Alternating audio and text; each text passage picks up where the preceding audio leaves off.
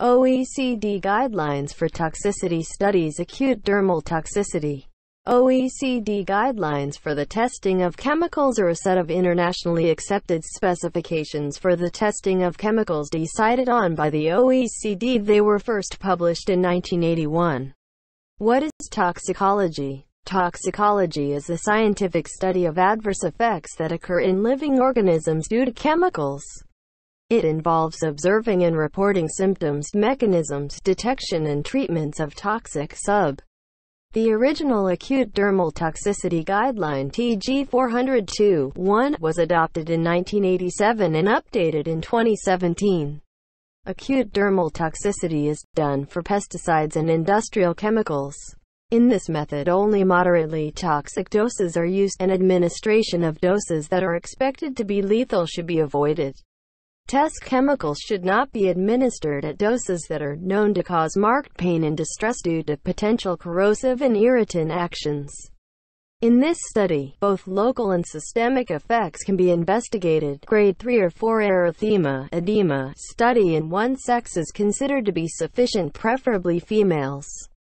Principal group of animals of single sex are exposed to test chemical using fixed doses. Initial dose level is selected at the concentration expected to produce clear signs of toxicity without causing severe toxic effects or mortality.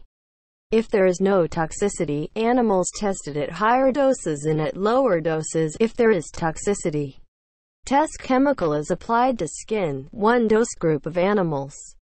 Effects are observed in animals which die during test or necropsy. Outcomes measured in test chemical is classified accordingly. Method description Selection of animal species Rat Other species Justification required Rabbit or guinea pig Housing and feeding conditions Temperature of room should be 220 C plus 3. Humidity should be at least 30%, not more than 70%.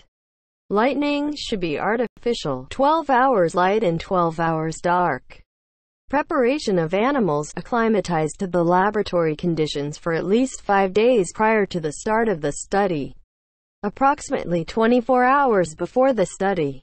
Fur should be removed from the dorsal area of the trunk of the test animals by clipping or shaving. 10% of the body surface area should be clear for the application of the test substance.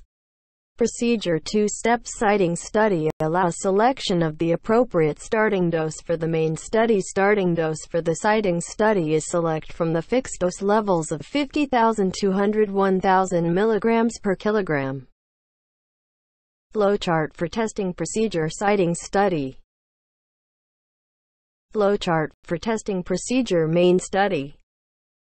Observations should include changes in skin, fur, eyes, mucous membranes, also respiratory, circulatory, autonomic, central nervous systems, somatomotor activity and behavior pattern.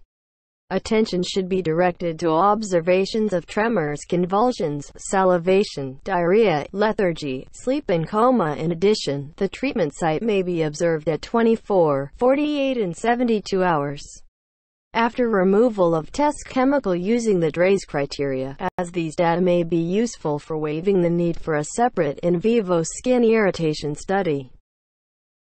Test report for submission of toxicity data. Thank you.